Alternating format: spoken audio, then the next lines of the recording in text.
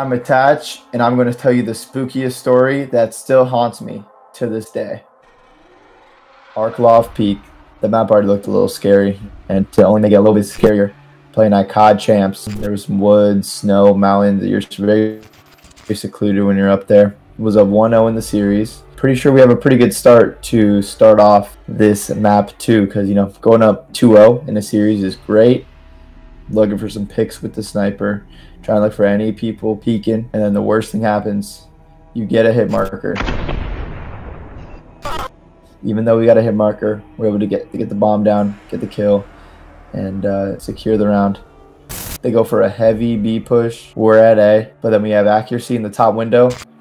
He took out one, he took out two, and he takes out three. We got formal sniping people through walls. That's pretty scary. Hit the window, get the bomb planter. Now it's down to a 1v2. And then this is where it could go bad. If he gets one kill and finesses and gets away, Luckily, he gets traded right there. So all the way from a 5v2 to a 1v1. So back to the offense. We already have control momentum of the game. So we're just trying to make them feel uncomfortable, make them feel like they need to make a play, and uh, use it to our advantage. 5v4. This is a huge round to go up 3-0. RC gets a big kill on me. Mac instantly trades it 4v3, but they know we're going A. We get the bomb down, we get killed on the flank, and now it's a 3v3. So we absolutely have to clutch this round up and then we get killed again. So now it's a 2v3. Now it's a 1v3. So from all the way from a 4v3 to a 1v3. And this is where things start getting scary. The blood starts flowing a little bit. The nerves start creeping in. And uh, we're gonna we're gonna see what we can do the rest of the game.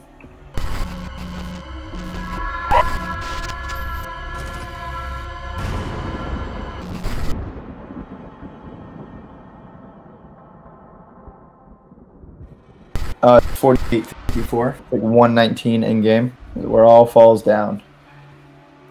We get the first blood, so things are looking good. They're in our favor. We know where we are, where, where they are, what we can and can't do.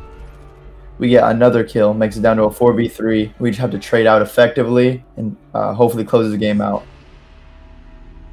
Unfortunately, they get one kill, another kill, traded out. Now it comes down to a 2v2. So now we're forced to plant the bomb for their side. I'm pretty much a sacrificial lamb, planting the bomb at A. Now it comes down to a 2v1, bombs down, and then we get pushed out, taken out, and go down 4 to 5. But we have a defense to bounce back, try and get another round under our belt. Because if we lose this, game's over. We win it, we push it to a round 11. Now it's down to a 3v4. Good wall bang, 3v3. 2v3, 2v2. I get flanked. 2v1. Our life's on the line right here. We need to win this. Big first kill. 1v1. This is a game of just the headsets. You're just hearing each other running around. And a big gunfight win out of Zuma to clutch that round up. But we've made it to round 11. Playing scared, hiding, waiting for someone to peek. No one wants to be that first guy that gets killed. Really no signs of life at all. But then we have the smokes out. We're going to work to get to the bomb site and get the bomb down. Temp does his job. But then we go down again in numbers. 3v5. 2v5. 2v4. Traded. And you just know while you're spectating this that you just lost the map. And that's just one of the worst feelings. After it all falls down, it crumbles, collapses right in front of your eyes.